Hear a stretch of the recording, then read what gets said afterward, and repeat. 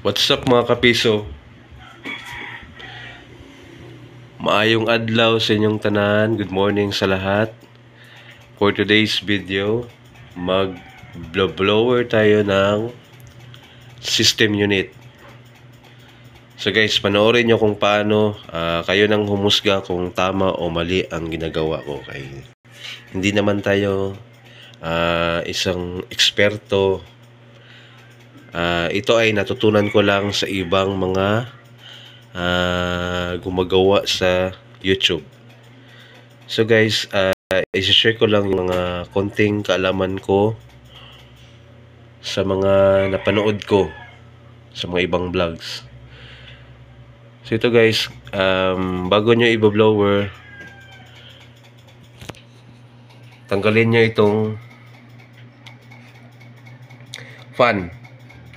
Ayan. So, bago daw mag-blower, ah, tatanggalin daw yan. Ayan. So, yun, sa fan yan.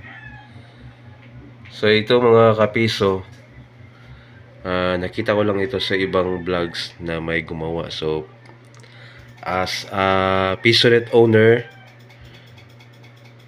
so, ayan, kaysa mag-hire ako ng ah ano yan? Maglilinis nito so um, do it yourself also. Do DIY so do it myself na lang. Ganun so ito nga pala yung blower na binili ko kahapon. So murang mura lang po. Kung gusto nyong uh, umorder may available po ako nito. Binili ko sa mismong supplier talaga para mas makakamura So, PM nyo lang ako guys kung gusto nyong umorder ng blower. Ito ay sobrang napakalakas. Try po natin. Tingnan nyo.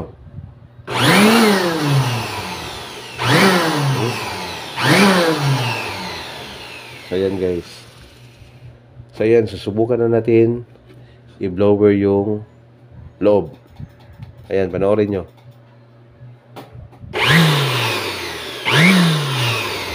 Uh, please daw uh, please comment below kung please comment below kung tama ba yung pagbilaw nito.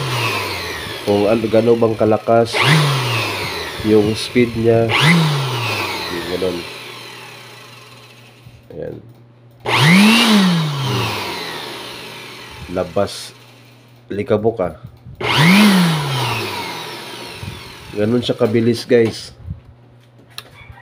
So sa mga walang blower dyan, umorder na po kayo dito sa akin. Direct from supplier po tayo. Mura lang po, mura.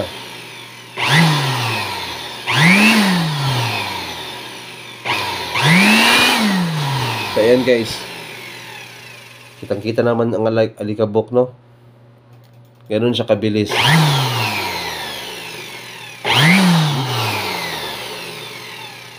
Ayan. So, itong video na ito ay shinare ko lang kung pwede naman nagawin nyo sa inyong mga sariling mga kamay. So, pwede lang talaga mag-DIY. Um, kahit konting, may konting idea lang kayo. So, yun lang guys. Uh, thanks for watching. Bye-bye.